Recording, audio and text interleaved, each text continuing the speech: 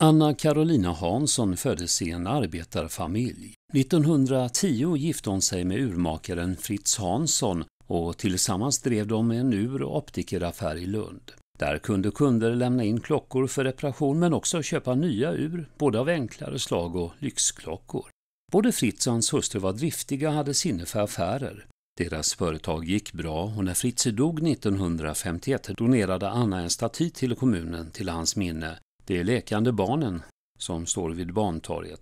En staty skapad av skulptören Jonas Fröding som var släkt till skalden Gustav Fröding.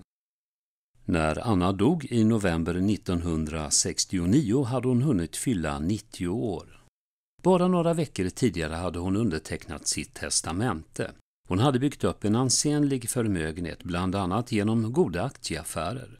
Bouppteckningen visade på 2 354 157 kronor som blev grunden till stiftelsen De lekande barnens fond med ändamålet att främja barns och ungdomars vård, fostran och utbildning men även utöva hjälpverksamhet bland behövande gamla och sjuka personer. Bidragen ska gå till personer som är bosatta i Lund och till institutioner som har verksamhet i Lund.